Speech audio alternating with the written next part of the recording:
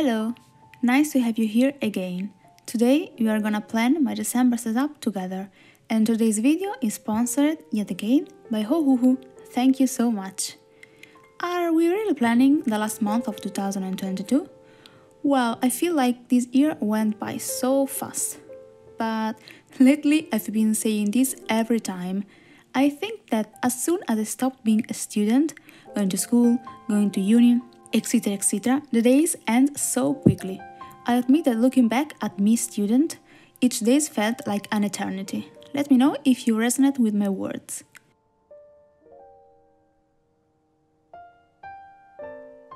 Anyway, I started planning this theme in my head at the start of November. Even though I ended up filming this video on the 23rd of November, but I knew that this month would have been so so hectic, so I wanted to be, at least, mentally prepared. I tried to include some festive spirit without being too obvious. This is why I use some well known colors such as green and red, but tone it down and use them as a secondary palette, while giving more attention to pinks and yellows. As you can probably tell already, my main focus for this theme is my little gingerbread man. Again, a subject associated with the holidays but not Christmas. I know lots of people don't celebrate Christmas for any reasons, and to be honest, I am not a fan myself. I love the vibes, I love the coziness, but I'm not crazy about it. Since these are quite busy moments, personally and working wise, I went for simple layouts. I cut down the quote page and replaced it with a small calendar spread. I definitely included less pages than normal. This way I can still journal but not being overwhelmed and lose the focus on other things that I need to take care of.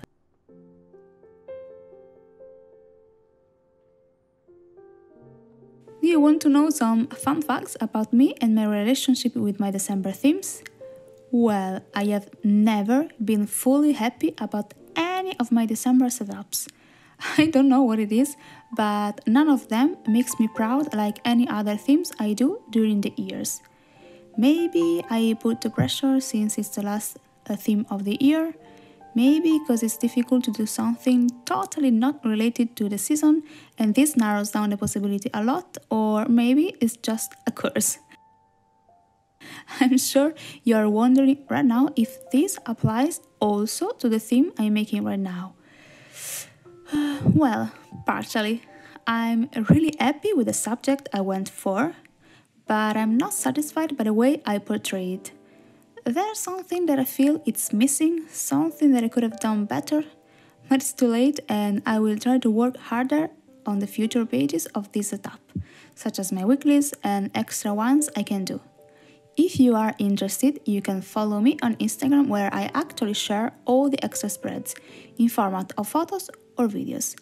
I will leave my handle in the description box. I know that it is not ideal to complain about something that I'm showing you, but I just wanted to be honest with you. Having a bullet journal comes with ups and downs, and it's not possible to be always on top of it. But the beauty of it is that the next month you can start fresh and learn from your mistakes, if you make any. I planned next theme last month since it was created to be made for December but I had to change plans along the way, so I'm really excited for that and I can wait for January to arrive. The holidays are approaching. How are you gonna spend your time? If you are a student, are you gonna enjoy some time off or return home? If you work, do you have some days off and plan a mini vacation? I am self employed, so I don't really know what I'm gonna do. Me and boyfriend will leave a couple of days for the new year and spend it in another city. We are going to Turin. Turin? I don't know. Well, Torino. I never ever visited the city before, so I'm really excited because I don't know what to expect. We will behave like tourists and visit many places, eat lots of delicious food, and stay cozy. I used to go party for the new year, but I'm way over the phase of my life. Now I just want to relax and enjoy the little things. Yes, I'm 26.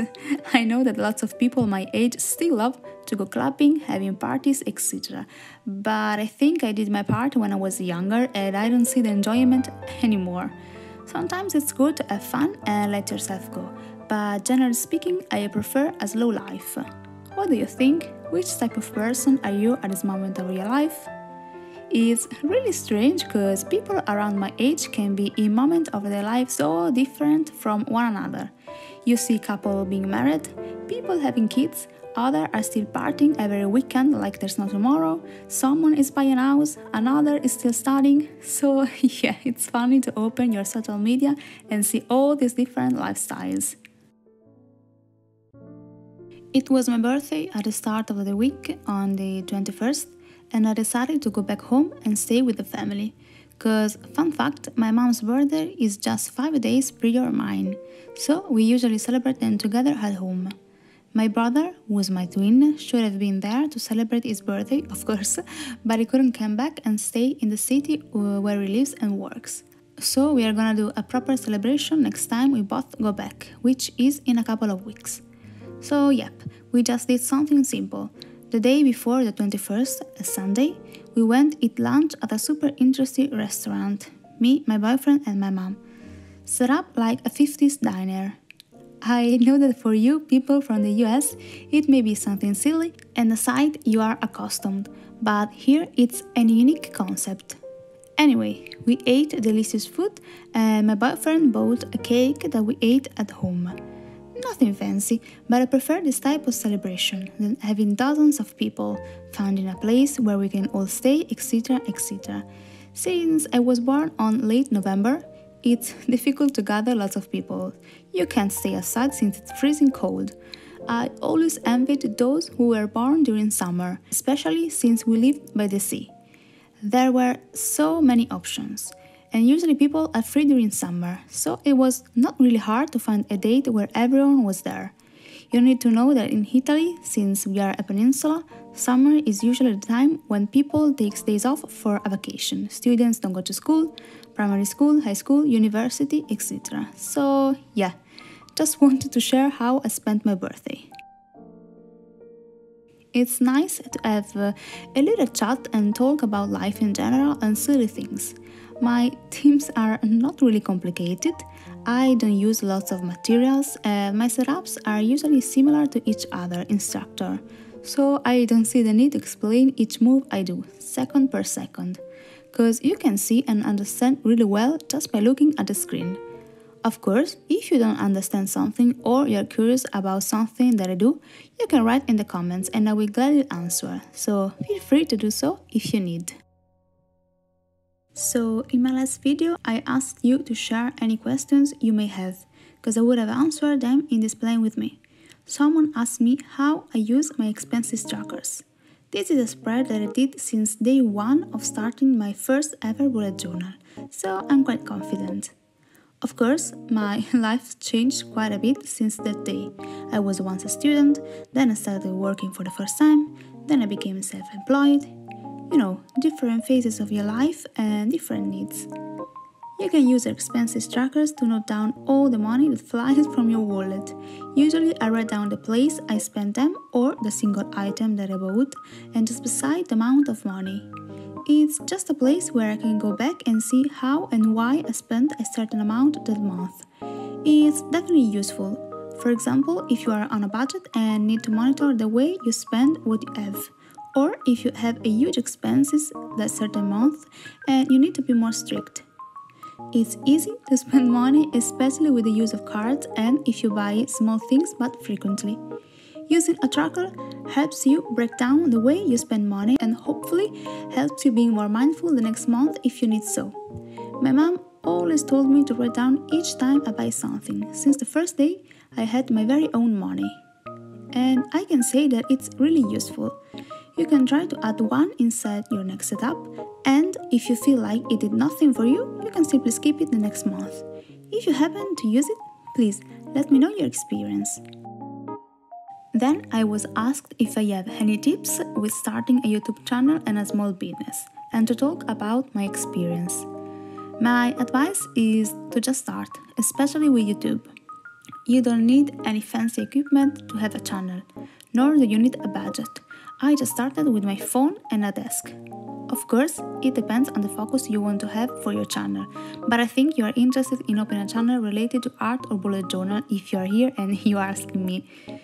As I stated before, you can start journaling with just a pen and some cheap markers, such as Crayola. This is how I did it. We are lucky that all of our phones already have a good camera and a microphone to record. And there are plenty of free editing software such as iMovie if you have a Mac, or DaVinci Resolve, VLLO on your phone, and many more. The most important thing is your mindset. Don't expect to grow big the day after. I've been here since 2019 and my growth has been quite slow, but each journey is different. So please, don't feel discouraged, you just need to continue doing it if you love it and experiment. My filming style changed a lot during these years. My editing, my content. As per the small business, it's quite a tricky question. I'm not here to tell you that it is easy and you just need to be motivated. But the best advice I can give you is to start small and try to have fun at the beginning. I honestly didn't think at the time that my shop would become my full time job. I didn't have those expectations. If you base your sole income into a small business, it can be stressful at first. This is why I don't suggest to invest all the money you have or to quit whatever you are doing to pursue this path. Don't believe those TikToks inspiring videos of people throwing everything down the window to start a small business and tell you they have a six or seven figure salary after a year. It's ridiculous to share this message. Maybe it is true for them. Maybe they had the background that could help them in case everything went wrong. They usually don't share the struggles and the behind the scenes. I will take my example to explain it better. I started my shop that I only had an old printer at home that we use by everyone, and I only bought the ink, adhesive paper, and Procreate on my phone for 5 euros. I didn't have a cutting machine, I didn't have an iPad or Apple Pencil, and I cut all the stickers by hand. When I made some sales, I decided to invest a little more and use all my birthday and Christmas presents for the following couple of years to ask help in upgrading my shop like an iPad, a cutting machine, etc. etc. I only started to manufacture outside some of my products this year, because it's not cheap to do so. Your best friends are your social media. Who has money to spend on traditional marketing strategies? Use your social medias to share your shop, your items, your art. Let people know you are there. As I stated, it's not easy and not everyone is able to achieve something. I'm not here lying, but the best advice is to start and start small accordingly to your means. I hope I was able to explain myself and answer the questions, but it's really a wide and complicated topic. I think it's time to wrap up this plan with me. I hope you had fun with me chatting all the time and that you enjoy the theme. If you're still here and you are not subscribed, consider doing so to support me and my small channel and do enjoy more content from me. See you next time. Bye bye and stay safe.